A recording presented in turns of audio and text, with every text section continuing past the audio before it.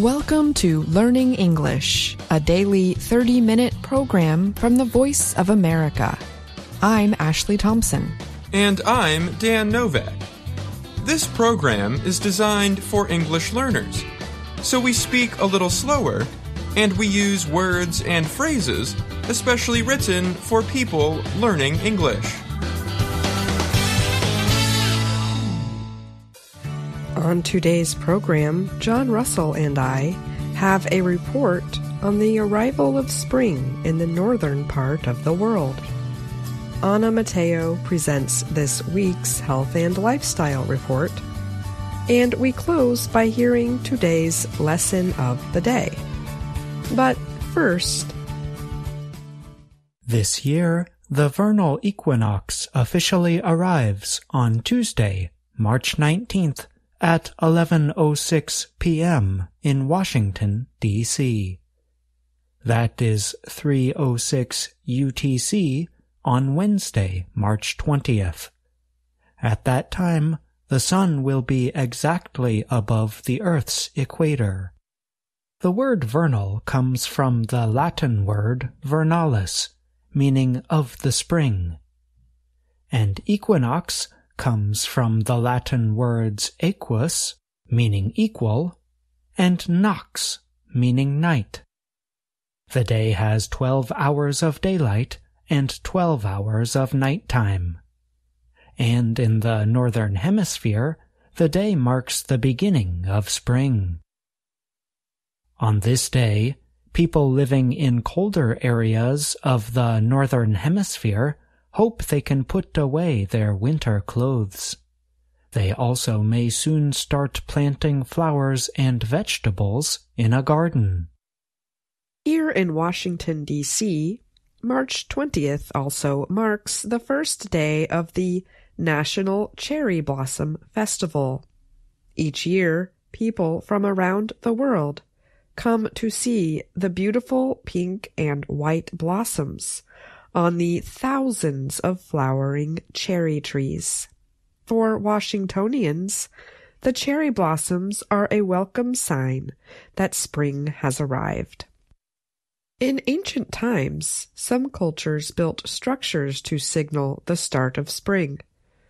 Around the year 1000 AD, for example, the Maya built a pyramid in what is now Mexico's Yucatan. It sits within an ancient city called Chichen Itza. On the spring equinox, the sunlight hits in a way that makes the structure look like a snake. The Maya called this day the return of the sun serpent. Today, cultures worldwide have their own ways of identifying and celebrating the arrival of spring. In Japan, spring is marked with a huge cherry blossom festival known as Hanami. The tradition dates back more than a thousand years. People gather under the blooming trees to eat, drink tea, celebrate, and enjoy the cherry blossoms known as sakura in Japanese. Artists and poets celebrate the short-lived blooms as a symbol of beauty. In 1912, Japan gave 3,000 cherry trees to the U.S. capital city of Washington, D.C. The gift was to honor the lasting friendship between the United States and Japan.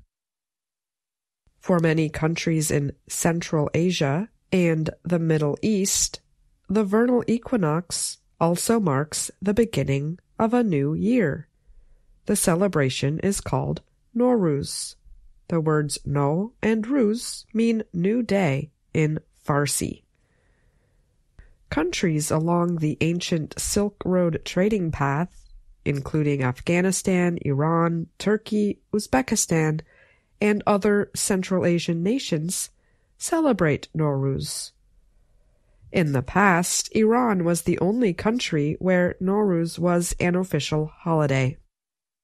But after countries gained their independence following the fall of the Soviet Union, many made Nowruz a national holiday as well. During Nowruz, people visit family members and friends and exchange gifts. Iranian families set up a Haftzin display of seven special items that represent spring and new beginnings. In Uzbekistan and other places in Central Asia, people watch wrestling events, horse races, and a special horseback game called, in Uzbek, Kopkari. In this game, two teams of players on horseback try to get the body of a headless goat into a goal. A similar game is called Buzkashi in Afghanistan and Oklak Tartish in Kyrgyzstan and Uyghur speaking areas. Many in India and Nepal mark the arrival of spring with the Holi festival, known also as the Festival of Colors or the Festival of Love. This year, Holi will take place on March 25th. People celebrate the festival by covering each other in, you guessed it, colors. Children especially enjoy the festival as they get to throw colored powder and water-filled balloons at others. Some say the festival comes from a story of the burning of the devil Holika. It represents the victory of good over evil, or the arrival of spring after a long, dark winter. Others say the celebration was inspired by the story of two young lovers with different skin colors. Krishna, who has blue skin, was in love with Radha. So he colored Radha with paint, leading to the modern-day colorful festival of love. People in Valencia, Spain have their spring celebration called Las Fallas. It is a wild street festival involving fire. The festival centers on the creation and burning of huge colorful statues made of wood, paper, and plastic. The statues are meant to look like real people. Valencian communities and organizations work all year to create these structures and place them throughout the city with fireworks inside. Las Fallas celebrations begin on March 15th with events like bullfights, parades, and cooking and beauty competitions. Then at midnight on March 19th, the city turns off all its streetlights and the statues are set on fire. This marks the end of the festival and the beginning of spring.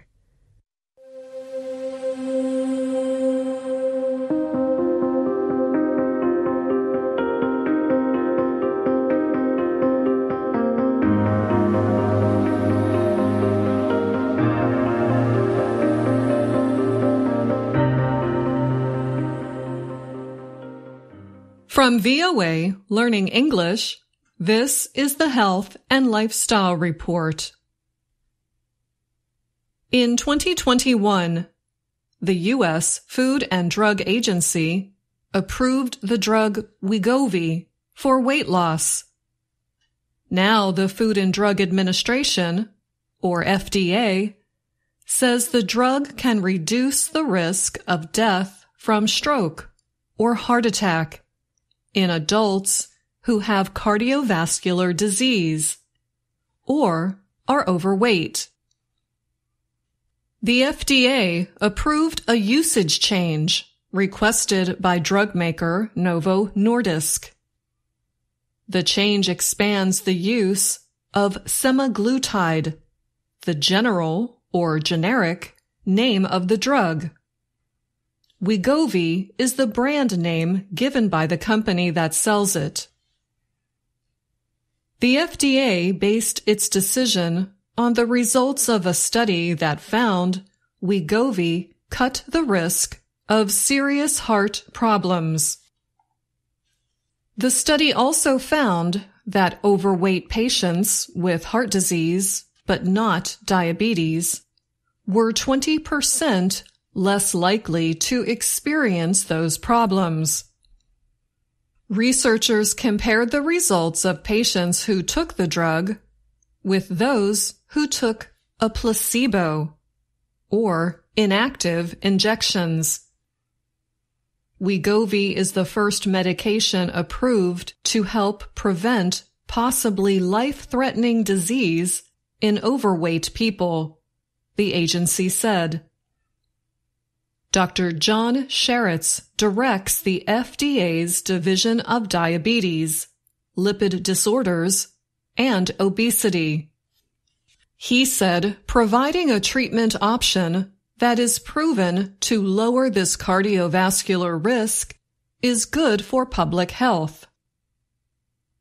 Dr. Martha Gulati said the decision will change the way many heart patients are treated. Gulati is a cardiologist at Cedars Sinai Medical Center in Los Angeles. The research also confirms that the new class of obesity medications are useful for improving health, not just losing weight. The hope is that insurers will start understanding that this is not a vanity drug, Gulati said.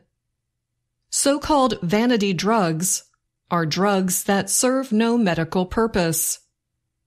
Some researchers call them lifestyle drugs. Gulati estimates that nearly 70% of her heart patients could be eligible for treatment. Wegovy is a high-dose version of the drug Ozempic. Ozempic is a diabetes treatment. The FDA approved the drug to cut the risk of serious heart problems in people with disease. The weight loss drug costs about $1,300 a month. Novo Nordisk has also asked European Union officials to expand the use of the drug for heart problems. The FDA warned that Wegovy carries the risk of serious side effects. These include thyroid tumors and certain cancers.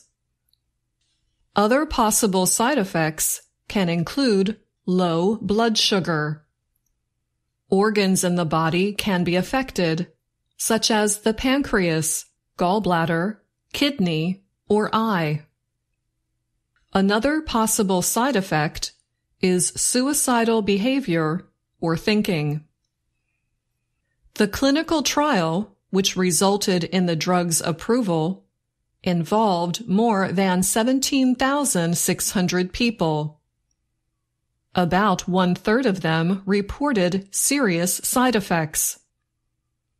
About 17% of the group that took Wegovy and about 8% of those who received a placebo left the study because of reported side effects. The new approval could mean that Medicare might increase coverage to the drug. Medicare is the federal health coverage program for retirement-aged citizens. U.S. law bars Medicare from covering drugs for weight loss alone. Recent estimates say nearly $3 billion was spent in 2021 covering Ozempic to treat diabetes. Tricia Neuman is a Medicare expert at KFF, a nonprofit organization based in San Francisco that researches health policy. She said the change will open the door to allow more people on Medicare to gain access to Wegovy. A spokesperson for the industry group America's Health Insurance Plans said private health coverage companies will consider the new guidance for Wegovy. Drug makers and activists for lower obesity rates have been pushing for expanded coverage. This includes legislation that would require Medicare to pay for the obesity drug. The cost of the drug needs to be balanced by reduced spending on medical care related to obesity and heart disease. Another problem is a limited supply of the drug. The FDA said there has been a shortage for more than a year. Novo Nordisk officials said they are aiming to increase production. For Gulati, the heart specialist, wider use cannot come soon enough. Everybody is waiting to get this medication, she said. Lower the cost, do not be greedy, and make sure the drug is available for use. And that's the Health and Lifestyle Report. I'm Anna Matteo.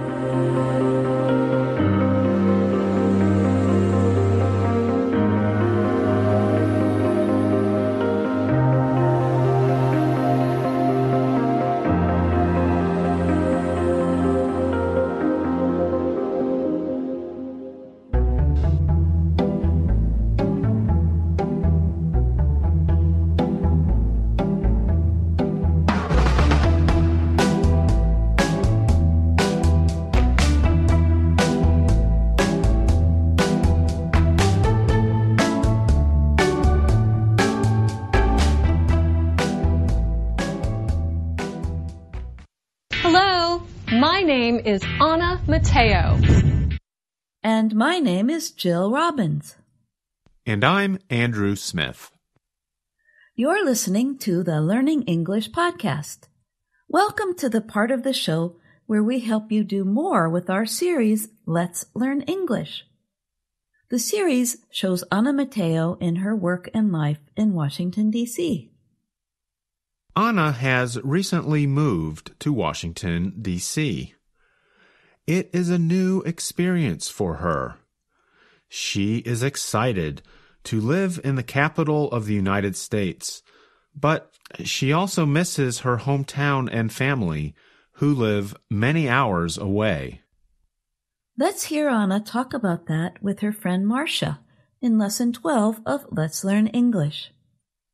Listen carefully for the expression Anna uses for the feeling of missing home.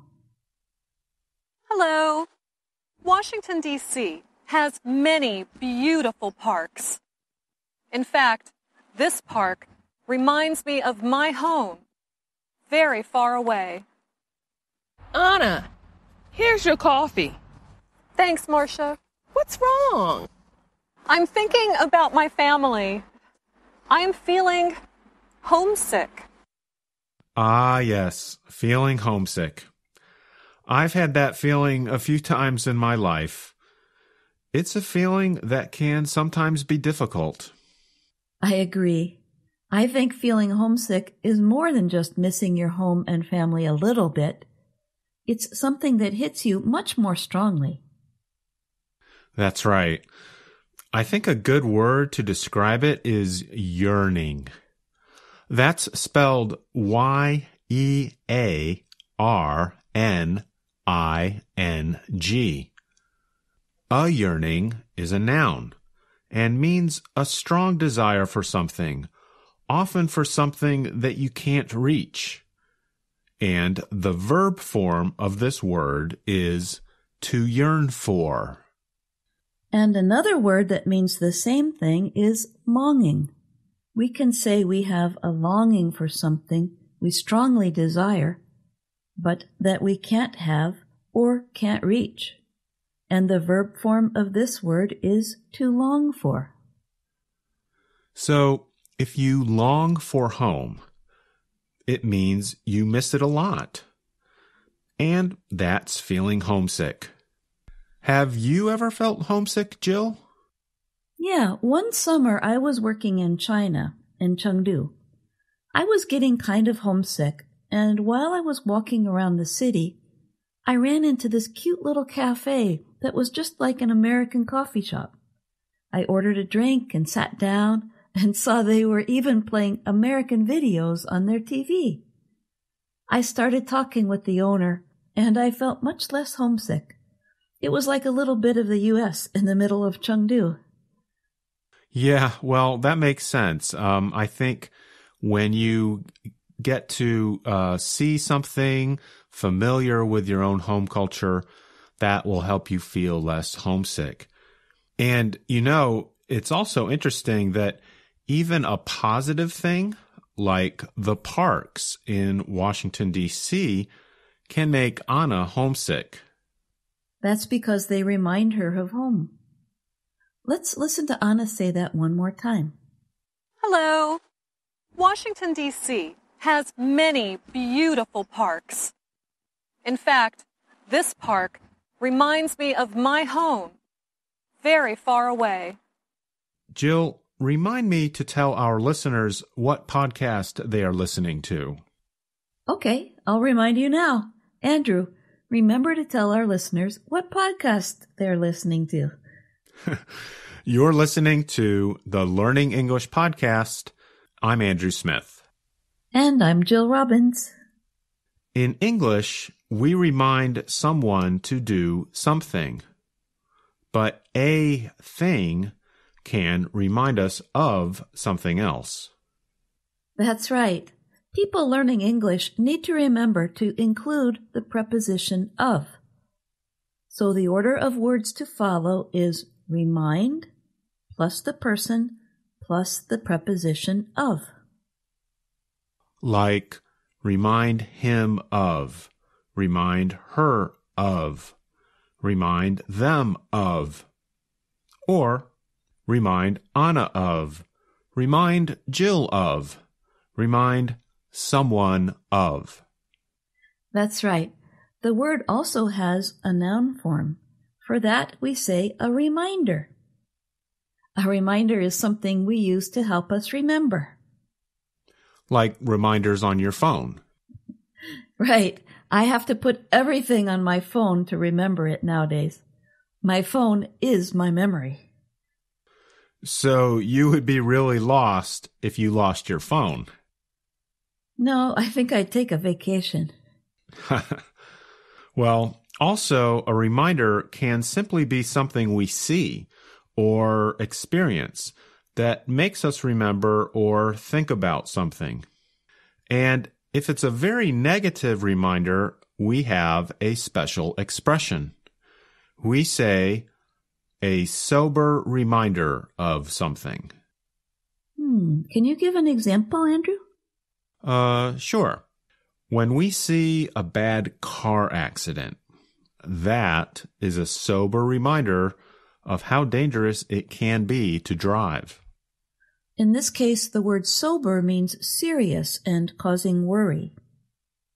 So, Jill, coming back to the topic of feeling homesick, do you have any advice for how people can deal with it? I think if people keep themselves busy and get involved with people in their new place, they will usually feel less homesick. You'll probably find that the people are just as nice there as the people back home. And the good thing about homesickness is that it usually doesn't last too long. After a while, it wears off. That's true. It, it does wear off, which means it disappears after a certain amount of time. I remember that once I felt really homesick for just a few hours, but then only a day or two later, the feeling was mostly gone. Yeah, sometimes homesickness can wear off quickly. However, if someone continues to yearn for home or long for home for a long time, we could say they have chronic homesickness. Ah, yeah. Chronic, spelled C H R O N I C, describes something that lasts for a very long time and keeps happening again and again. In that case, it doesn't wear off. I'm Andrew Smith, and you're listening to the Learning English podcast. Jill, we should explain to our listeners that the phrasal verb wear off can be used for both physical objects and for what we feel inside.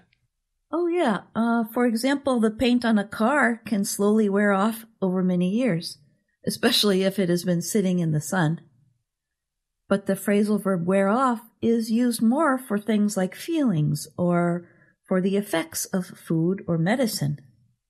Like the effect of a drug wears off over time. And the best cure for homesickness is to visit home. And depending on your family, you just might be happy to travel again afterwards. we do love our families. And when Anna talked about feeling homesick, she shared photos of her family with Marcia. Several times, Marcia asked Anna to explain a bit about what her family members do. Let's listen. This is my mother, and this is my father. They are rodeo clowns. What do rodeo clowns do? They make jokes at a rodeo. People laugh. That that's very different. Who is that woman in the picture? That is my Aunt Lavender. She is my mom's sister. She loves gardening and makes spoons. She makes spoons? Of course. That, too, is very different. Oh, this is my Uncle John. He is my father's brother. What does Uncle John do? He's a chicken farmer and makes guitars. He's awesome, and I'm his favorite niece. Who are they? They are my cousins. They are my Uncle John's daughter and son. What do they do? They raise sheep and make sweaters. That's some family she has there. In American culture, asking about what kind of work people do is very common. At a social gathering, when Americans first meet a new person, often one of the first questions they ask is, What do you do? Or what kind of work do you do? That's right. Sometimes Americans will talk about their job first and then talk about where they are from or about their family. I guess Americans really like their jobs. well, uh, maybe. Or maybe they just like talking about them. For some reason, it's just one of the first things Americans usually talk about when they meet new people. That sounds like something a cultural anthropologist could tell us more about. Yeah, I think so, because anthropologists study human culture. Hmm, that gives me an idea for a guest we could invite to our podcast. I was just thinking the same thing. But even if we can't find a cultural anthropologist, there are still a lot of things our listeners can learn about American language and culture in the series Let's Learn English. That's right. and we hope you've enjoyed today's lesson on the Learning English podcast. I'm Jill Robbins. And I'm Andrew Smith.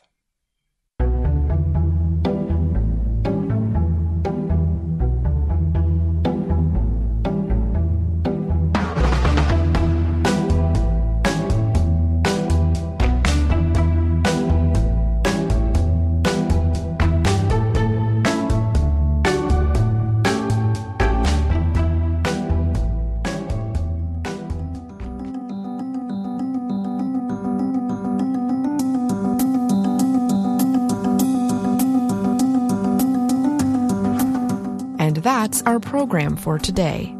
Join us again tomorrow to keep learning English through stories from around the world. I'm Ashley Thompson. And I'm Dan Novak.